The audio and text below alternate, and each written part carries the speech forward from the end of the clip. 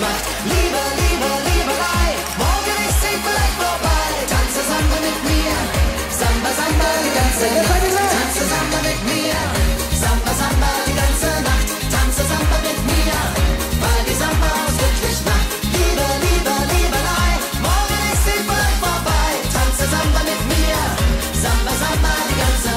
Ja, es ließ sich nicht vermeiden. Aber natürlich, wenn es so ein Jubiläum gibt, 20 Jahre Smargo Award, dann darf unser Lieblingsengländer nicht fehlen. Ross Anthony. Was? Lieblingsengländer. Unser Lieblingsengländer nicht fehlen. Was hat wieder so angefangen? Ne? Wir können wirklich nicht in einem Raum zusammen sein. Wir Nein. lachen viel, wir machen nur Blödsinn und es kommt am so kein gut gutes ein. Interview raus. Deswegen, dass du jetzt in die Mitte sitzt. ne? Genau, deshalb genau. haben Also wir ich kann wir haben nicht mehr eine hauen, ne? Direktive, rein- eine Direktive geholt. Schiedsrichter. Oh, also verstehe ich. Schiedsrichter, 15 Love. 15 Love. Ja. Für mich. Das hast du schön gesagt. Hast weiß. du ein F-Problem? Nein, Ne, was? 15 Love. ich habe ich hab ein F-Problem. Ein Weil ich, esse immer, wenn du kommst. Aber abgesehen davon, sag mal, ohne, jetzt ein Wort ohne F und S. Okay, ja. 2018. Da waren aber ein S drin. Sei doch nicht Also so. Du wolltest sagen, dass 2018 war War ein tolles Jahr, Jahr. für mich. Ne? Es, war, es war mega. Ne, Ja. Erstmal, dass meine, meine Shows super gelaufen sind. Ich habe wahnsinnig tolle Künstler in meine Shows bekommen. Und natürlich die Krönung war für mich, ne, die goldene Henne nach Hause zu nehmen. Ähm, hätte ich nie gedacht, nach so vielen Jahren, dass ich irgendwann die Chance hatte, äh, eins zu bekommen. Ne? Ähm, Aber dass du deinen Mann so nennst, das finde ich jetzt schon komisch. Ey, der ist ein verrückter Hahn, mein Lieber. Ein goldener Henne. Aber es ist ein golden boy. nee, aber es war wirklich ein tolles Jahr. Ich war viel unterwegs. Ich war auch Tour mit äh, Florian Silbereisen letztes Ja. Jahr und ich konnte es wirklich, wirklich genießen. Und ich bin sehr dankbar. Ich hätte echt nicht gedacht, ob du es glaubst oder nicht, dass meine Schlagerkarriere so lange halten würde und so, ja. so erfolgreich würde. Ne? Ich, ich liebe, was ich mache und ich glaube, ich habe dir schon das öfters mal erzählt, dass ich, äh, ich stehe auf einer Bühne, weil es meine Leidenschaft ist. Ne? Ja. Es ist nicht mein Job für mich und dass ich, äh, es ist ein Job geworden, ist natürlich nur ein Luxus. Das stimmt, ja. Äh, Ich, ähm, habe durch Zufall am, am, letzten Wochenende eine Fernsehgeschichte gesehen.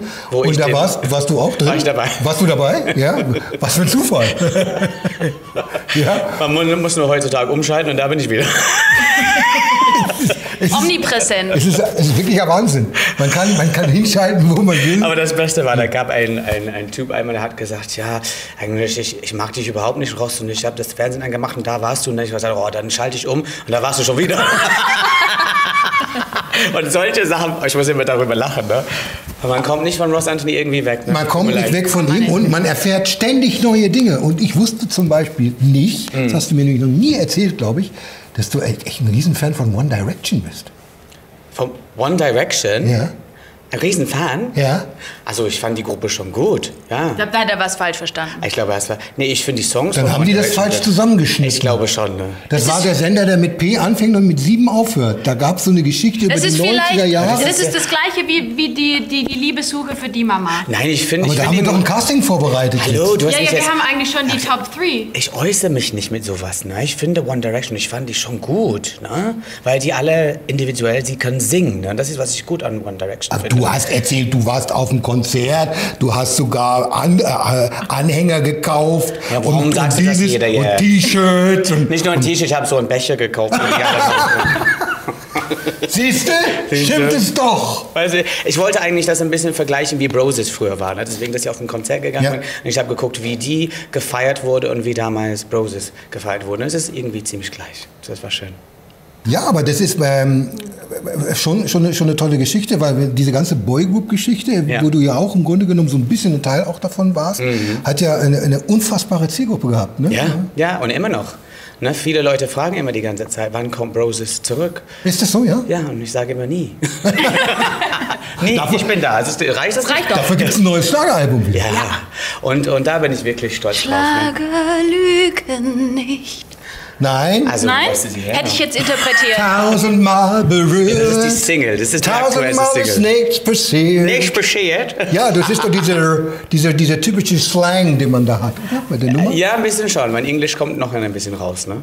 Aber das Ja. Ding ist, ich wollte unbedingt dieses Album machen, äh, weil es ist, äh, es hat immer noch natürlich gewünschte Songs von meinem Papa drauf. Es ist äh, Songs, die mein Leben als Kind auch geprägt hat und es ist auch Wünsche von meinen Fans. Die Ja. haben dieses Mal gewünscht, ob welche Songs auf dem Album kommen und ich habe äh, hoffentlich alle Wünsche dann äh, erfüllt. Ne? Es ist wirklich eine Mischung aus die drei Sachen. Und, Aber, ähm, aber das 1001 ist eine coole Version.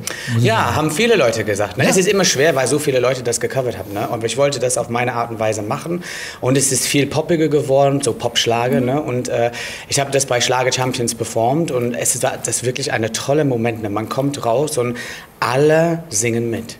Die Ja, ja. 10.000 Die- Leute die im Stimmung war hier die singen sensationell, mit. ja, und ja, dann, ja. es ist so ein schönes Gefühl. Und die lächeln alle mit und die machen, die feiern und die, die, die haben es gut. Ne? Und ähm, es ist dieser alte Klassiker-Songs, was das natürlich zurückbringt, was, wie, wie es früher war.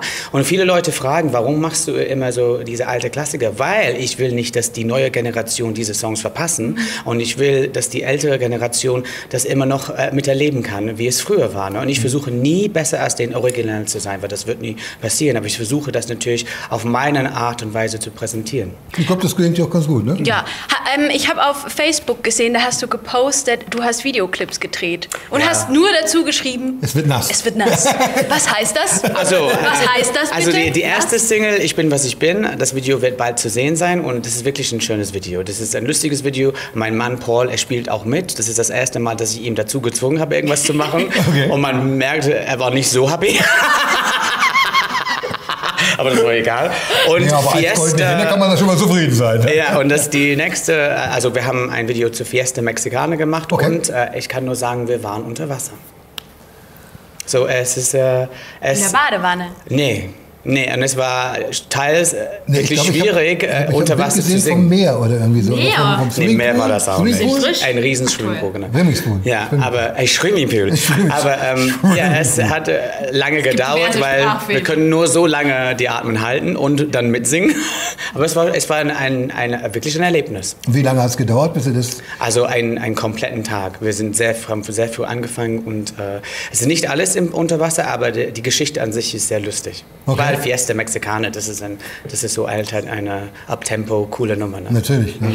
Ich, ich habe auch gesehen äh, auf Facebook und auf deiner Website, die übrigens sehr cool ist. Ich habe noch nie so eine Website gesehen. Wirklich? Die Das- ist sehr man schiebt das originell. hin und her, ne? Ja, ja, das, ich finde es. Sehr ich modern, ne? Ja. Ich Total. muss sagen, ich finde es toll, dass du deine, deine Arbeit, deine Hausarbeit gemacht hast. Nicht Hausarbeit, deine, die Hausarbeit hat sie heute auch gemacht. Das, aber das war tatsächlich Das ist wirklich was Hausarbeit. gemacht. äh, Aber bei ihm ist er, er kommt immer rein, er weiß nicht, was er sagen soll. Und dann noch der Aber ich habe dafür den Obstteller besorgt. Ja, genau. Äh, auf jeden Fall, um auf den Punkt zurückzukommen, ich möchte kurz ernsthaft werden, wenn es in Ordnung ist.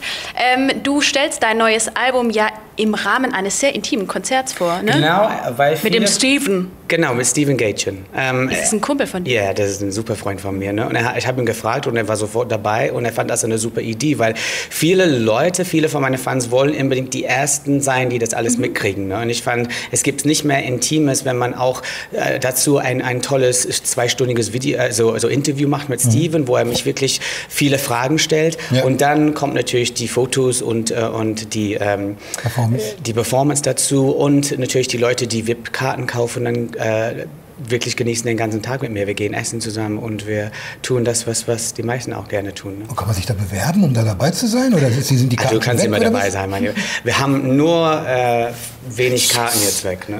Wenig Karten übrig. wenig Karten weg. nee, wenig aber, aber wir haben wirklich, äh, die VIP-Karten sind fast ausverkauft und die anderen Karten gibt es nur ein paar. Und wo wird das übrig. sein? Und ähm, es wird in Köln, in Residenzkino. Äh, und es ist ein wirklich ein ganz schönes, edles Kino. Ne? Die, die, die, äh, Noch so ein altes, oder Ja, so? genau, Mhm. alt und, und die Sesseln äh, sind wirklich groß und schön und bequem und so. Und es wird ganz toll. Es geht, es geht über vier Stunden. Wow. Äh, ähm, und wir werden auf jeden Fall viel in diese vier Stunden da machen. Und es gibt natürlich nur an dem Tag ein exklusives Boxset äh, dafür. Nur was an diesem Tag äh, äh, Ein Boxset? bekommen könnt. Ja. Aber nicht von Vision Body. Nein, nicht vom Vision Body. von mir. Aber es gibt wirklich schönere Sachen drin. Ja, weil ich dich so im schicken Sporteldress gesehen hab. Ja, das ist, äh, ja, aber das ist eine Art, äh, um fit zu äh, bleiben. Ne? Ja, man macht ja alles, was man kann. Aber hätte wenn ja man, sein können, wenn du man boxst. über 30 wird. Knapp drüber. Ganz knapp. Knapp, ja. Ich habe kein Problem, meine, meine, äh, um ehrlich zu sein, zu sagen, wie alt ich bin. 39. Stimmt überhaupt nicht, ich weiß. Die richtige Zahl blenden wir jetzt unten ein. Blenden seien Sie, wir bitte, unten. seien Sie bitte nicht schockiert, liebe Zuschauer. Nein, weil die, äh, wenn ich die Leute das wirklich sage, dass ich dieses Jahr 45 wird, ne, manche sind so, oh mein Gott, wirklich? Und du siehst immer noch so gut aus. Und, und dann manche sagen halt, ey, guck mal Benny an. Der hat sich nicht gut hingekriegt. Die Creme fürs Gesicht hat er irgendwo anders verwendet. Das war die andere, die er fürs Gesicht verwendet hat. Ich bin ja mal weg. Und wenn er seinen Mund aufmacht, kann man Schiene sehen. Du bist echt gemein. Was soll ich jetzt da sagen? Soll ich jetzt mitschwimmen oder... Ich sage immer alles, was du denkst, weißt, Rita. weißt, du, wie, weißt du, wie ich das Gespräch jetzt beende? Ich sag, Nee, musst du nicht. Einfach nur au- aufstehen und gehen. Unser Gespräch war Aber viel du schöner. was, du hast definitiv auch was richtig gemacht, weil immerhin bist du derjenige, der mit äh, Linda Fay tanzt. Ich glaube, das wird Benny auch Ja, gerne. hast du das gesehen? Oh, Linde Fay ist so toll. Die ist so- ist ein geht, schönes äh, Geschöpf. Sie geht äh, dieses Jahr mit, mit Florian Silbereisen auf Tour. Ja? Ich weiß. Sie ist so eine bildhübsche Frau. Wahnsinn. Und so nett. Übel. Und sie hat so hab viel, so gemacht. Wahnsinn. Ja, sie ist Ich wirklich finde, das toll. ist eine Frau, wenn man die sieht, dann kann man gar nicht weggucken, weil die so schön ist. Nee, aber okay, Linde Fay ist jetzt äh, ist, äh, genug von Linde Fay. ja? das ist genau wie bei Ross Anthony. Aber, ne, aber nicht zu vergessen, ne? Album kommt, Ja. 8. Äh, dritte raus und dieses Special Event ist am 7.3. Und Am das 7.. geht- und wir feiern äh, durch die Nacht. Ne? Also es geht äh, um 12 äh, Uhr nachts gibt äh, Mittelnachtverkauf. Wow. Mitternacht, so das bedeutet, Das die Leute können wirklich, sind die ersten Leute, die die CD und Box in der Hand halten können. Also Das wenn der toll. Benny umsonst darf, darf ich dann auch umsonst kommen? Ah, du darfst auf jeden Fall rein, aber da kann draußen vor der Tür stehen. Ich hab's geschafft. Ich hab's geschafft. Du bist noch nicht geschminkt heute, ne, Benny? Nein, Nee, jetzt merkt. nicht mehr. Das bisschen, was auf der Nase war, ist jetzt auch weg. Äh, Wie groß ist das Bild? Hast- Habt ihr nur uns zwei drin? Man hört mich immer Die nur, wichtigsten sind man hört Ich muss mich, sehen, du man hört mich immer nur im. O-Ton. Ja, Hätte ein bisschen viel mehr Mühe geben müssen, ne? Ja, aber ich, Ja. Muss ja, ich muss ja für unsere Make-up-Artistin in die Bresche springen. Ja, Die okay. ist einfach fantastisch. Ich muss, die, ich muss die liebe Zuschauer sagen, du, ich, ich bin reingekommen für eine halbe Stunde und dann, und dann er dreht sich um und er, sein Mund ist voll mit irgendwelchem Obst, was er eigentlich uns anbieten Ja, soll. Salami. Salami war das, okay. Und er kaut immer so, oh, hi, Ross. So, das ist wie immer, ne? So, so ähnlich habe ich das Interview auch gefühlt. Ja, also ich finde es Deshalb hast du toll. mich auch kaum verstanden. Ich ver- verstehe dich sowieso nicht. Also ich würde Mit vielleicht deinem F und ein S. Ich würde jetzt vielleicht sagen, es war schön, dass wir uns gesehen haben, denn man, es ist auch besser lieber gut geschminkt als vom Leben gezeichnet. Und deshalb, schön gesagt. das ist schön, oder? Das ist aber ein schöner- ich das habe hab mir das diesen Satz, auf, ich ja. habe den Satz aufgehoben extra für ein Interview mit dir. Ah. Es war lange mal ein Traum, deshalb habe ich ihn auch immer öfter in, meinem, in meiner Umgebung kundgetan, damit ich ihn nicht vergesse für den Moment der Momente. Ach so, und lass mich erst mal sehen, äh, was noch für Fragen. Guck mal, Tanzproben, Vision Valley. Das lassen Ach wir so, ja, das weg. lassen wir weg. weg. Das lassen wir weg. Also das wir haben eigentlich alles abgehakt. Also wirklich, ja? Aber bei mir steht noch, bei mir, doch, noch mal, bei steht jetzt noch bei Verabschiedung. Verabschiedung. Tschüss. Das machst du. Also, so meine Lieben, wenn ihr Spaß haben wollt, dann schalte ein. Muss ihr nicht einschalten, weil die sind schon da. Aber ich meine halt, äh, wenn ihr was ganz Geniales sehen wollt, dann müsst ihr nach Köln kommen am 7.3. Und da feiere ich mit euch dann eine Riesenparty. Das wird ganz toll. Alle Infos, darf ich das sagen? Alle Infos kriegt man unter www.ross-anthony-shop.com. Schlager lügen nicht. Ja, das neue Album, du musst das dazu sagen, ne? weil die Ja. denken halt, Schlager lügen nicht, aber doch, das Schlager lügt, auf jeden Fall. Ach, Schlager. Der Schlager. Schlager. Ist doch. Und Schlager. wenn wir in, in Leipzig, und wir sagen, tschüss, Leser, Ja, mach's gut. das war's. Ja, das war's. Ne, Auf Wiedersehen. Danke Tschüss. fürs Zuschauen.